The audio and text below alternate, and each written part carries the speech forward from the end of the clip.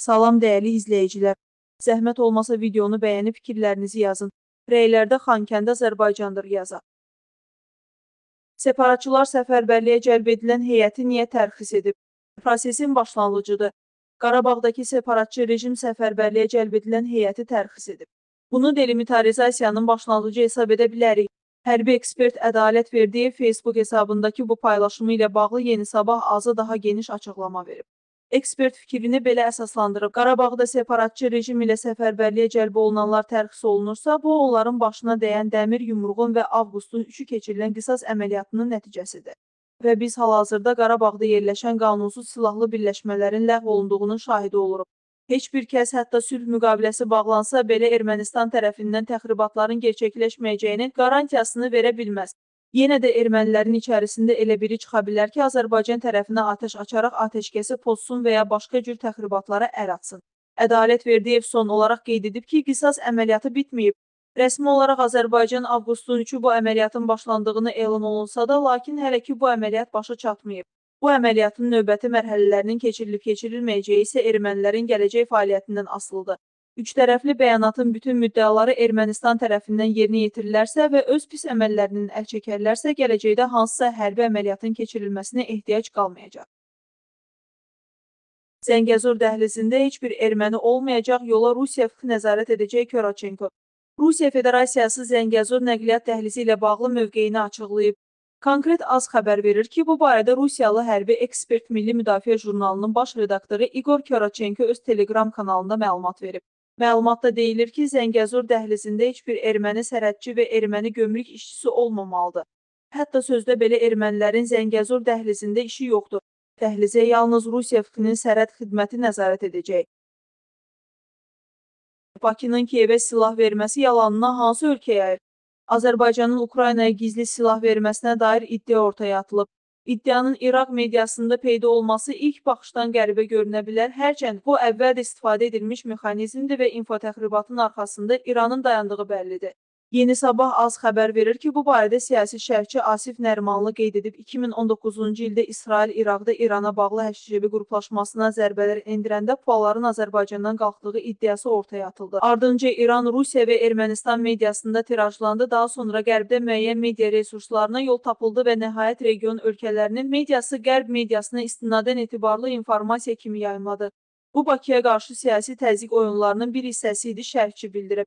Asif Nərimanlının fikrincə Azərbaycanın Ukraynaya silah göndərməsi iddiası da eyni mexanizmlə yayımlanır. İraqın Sabire neft saytı media resursunun İrana yaxınlığı bəllidir. Bu iddianı əldə etdiyi məxfi fayl olaraq yayımlayıb. Rusiyada erməni yönümlü media resurları həmçinin Ermənistan mediası saytı istinadla tirajlayır. Bu info təxribatın təşkilatçısı olan İranın və tirajlanmasını həyata keçirən Ermənistanın hədəfi var. Rusiya-Azərbaycan münasibətlərini baltalamaq, Moskvanı Bakıya qarşı addımlara sövq etmək, Xüsusilə Moskvada Zəngəzur dəhlizinin açılmasına qarşı mövqeyin formalaşmasına nail olmaq, yaxud ən azı prosesi ləngitmək. İddianın qərbdə erməni diaspor lobbisinin təsir edə bildiyi media resurslarına yol tapacağı, daha sonra etibarlı məlumat kimi yenidən idxal ediləcəyi də istisna deyil. Türkiyə Ukraynada Bayraktar zavodu tikməkdən imtina etdi foto. Ukraynanın Türkiyə Respublikasındakı səfiri Vasili Bodnar bir neçə gün əvvəl mediaya açıqlamasında bildirib ki, Türkiyə və Ukrayna Bayraktar zavodunun tikintisinə dair iki tərəfli sazişi təsdiqləyib, sənədlər ratifikasiya üçün parlamentə göndərilib. Səfirin sözlərinə görə Ukraynada Bayraktar zavodunun inşa edilməsi üçün torpaq sahəsində alınıb, habelə zavodun smeta layihəsi də hazırlanıb. Ukraynalı diplomatın açıqlamasına Kreml dərhal reaksiya verib. Belə ki, Rusiya prezidentinin sözçüsü Dmitri Peskov cavabında qəti şəkildə vurğulayıb ki, Türkiyə belə bir addım atarsa, Rusiya həmin zavoda zərbə vuracaq. Ukraynada Bayraktar Türkiyə pilotsuz uçuş aparatlarının istehsalı zavodu tikilərsə dərhal demilitarizasiya ediləcək. Bu çox güman yalnız Ukraynalıların əzab çəkmələrini uzadacaq, lakin xüsusi hərbi əməliyyatın məqsədi olan şeydən yayına bilməyəcək, Peskov çıxışında qeyd edib. Bayraktar qalmaqalına Türkiyənin münasibəti necədir? Bu barədə Modern Azın sualını cavablandıran Türkiyənin Hərbi Hava Qüvvələrinin təqaüddə olan general-leytenantı Ərdoğan Karakiş ölkəsinin Ukraynada Bayraktar zavodu tikməyəcəyini bəyan edib. Hazırda Türkiyə hansısa ölkə ilə ortaq Bayraktar istehsal etmək niyyətində deyil. Bugün Rusiya və Ukrayna arasında müharibə davam edir. Ona görə də iki münaqişəli ölkəyə Türkiyə tərəfindən yardım olunmur. Çünki Türkiyənin bu addımı ölkələr arasında münaqişənin daha da artmasına səbəb ola bilər. Amma daha əvvəl Ukraynaya verilmiş bayraqdarlar hələ də müharibədə istifadə edilir. Bu vəziyyətdə ya Rusiya ya da Ukrayna istəsə Türkiyəyə heç nə şey verməz. Bugün Türkiyənin həyata keçirmək istədiyi siyasət barışdır. Ankara iki ölkədən birinə silah verib nifaq salmaq istəmir. Türkiyəli general Ukraynanın Ankaradakı səfirinin bayraqdarla bağlı açıqlamasına da aydınlıq gətirib. Ukraynanın Türkiyədəki səfiri bəzən məsuliyyətindən kənarda olan bəzi fikirləri səsləndirir. Amma Türkiyə diqqətli hərəkət edir. Biz sadəcə istəyirik ki, ölkələr arasında sülh olsun. Türkiyənin bayraqdarla bağlı siyasəti hər kəsə bəllidir. Ona görə də Türkiyənin müharibə edən tərəflərə silah vermək niyyəti yoxdur. Bu onu göstərir ki, Rusların Qarabağda bulunma müddəti daha 3 il davam edə bilməz. Tanınmış ermənişünas alim, siyasi analitik Qafar Çaxmaqlı son günlər Qarabağ ətrafında yaranan durumu moderator Azı şərh edib. Çox qəribədir ki, Rusiya sülh məramlı adı ilə hərbi qüvvələrinin Azərbaycan torpaqlarında yerləşməsindən ermənilər də narazıdır. Son günlər Xankəndi şəhərində Rusiyanın hərbi kontingentinə qarşı aksiya keçirilməsi bunun bir örnəyidir. Yeni yolun çəkilməsi ilə Laçın şəhəri və Zabuq da daxil olmaqla kəndlərimizin ermənilərdən təmizlənməsini ermənilər həzm edə bilmirlər. Həmin aksiyada səsləndirilən fikirlərdən biri o idi ki, Arayik Harutyunyan bir çıxışında deyibmiş ki, Rus sülh məramlılarının rəhbəri ilə danışıb, Ağavla ermənilərin nəzarətində qalacaq. İndi bura boşaldılarkən arada yaşayan və bir zamanlar Suriya, Livan və Ermənistanın bəzi bölgələrindən buraya köçürülən əhalinin gedəcəyi yeri yoxdur. Ermənilər bu fikirdədirlər ki, Rusiya bu adamlara sahib çıxmalıdır. Ermənistanın isə bu məsələyə müdaxilə etməyə gücü yoxdur.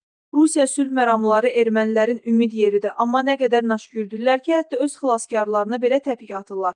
Tatul Hakopyan Ermənistanda tanınan birisidir. Onun erməni-türk Ermənistan-Azərbaycan münasibətlərinin tarixinə dair kitabları çoxsaylı çalışmaları var. Azadlıq Radiosunun rəhbəri Hrayər Tamrazyana verdiyi müsahibədə bir çox məsələlərlə yanaşı 10 noyabr 2020-ci il bəyanatından sonra Rusiya sülh məramlılarının bölgəyə yerləşməsi və onların fəaliyyəti ilə bağlı fikirləri diqqətimi çəkdi.